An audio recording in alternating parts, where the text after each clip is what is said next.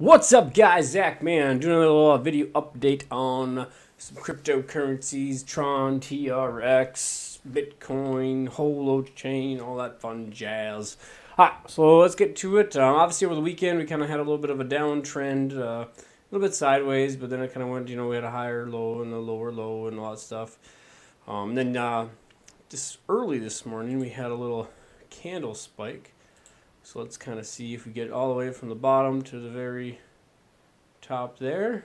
It's about 15% uh, spike, um, as you can see right there. So we almost hit our uh, resistance up here, but uh, kind of went back down after that, and we kind of followed back down. So actually, I, I was really surprised when I got up and I saw the spike. I was like, whew, what happened here? Um, but, because, uh, yeah, because we kind of fell through, I figured we would be on our downtrend heading to the support down here.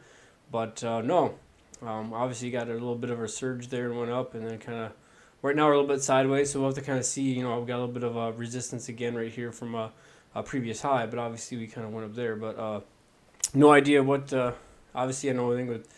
Uh, with B, uh, BTT uh, got listed on some other exchanges, so there's a lot of people getting into that as well.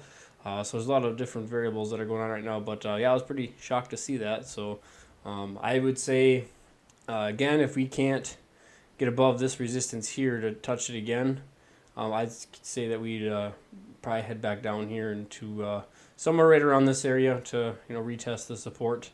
Um, and then hopefully we kind of bounce around as uh, gradually we go up though hopefully so until we get uh, closer and closer to the the tightening of the wedge here before it uh, really breaks out so uh, hopefully uh, things go good and smoothly if uh, by February or before February 11th we should see a takeoff in price just because of the airdrop that's going to be happening. Uh, so that's pretty positive stuff.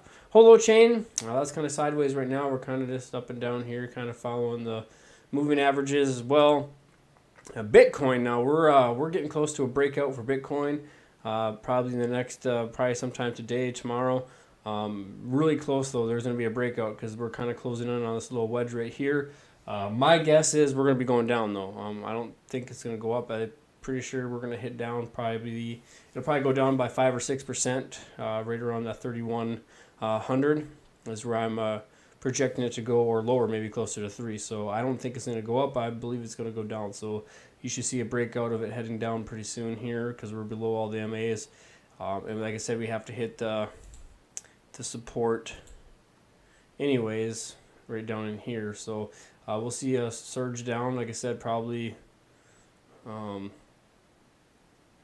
like I said, between 31 and 3200 is where it should go, and then it'll kind of go sideways up and down, and then we'll hit another surge down, and then hopefully it'll hit sometime by end of February, hopefully, and then we'll hopefully that'll begin the bull run a little bit and kind of test uh, some resistance of the some previous highs and stuff like that. So that is what my prediction is for Bitcoin as far as that goes.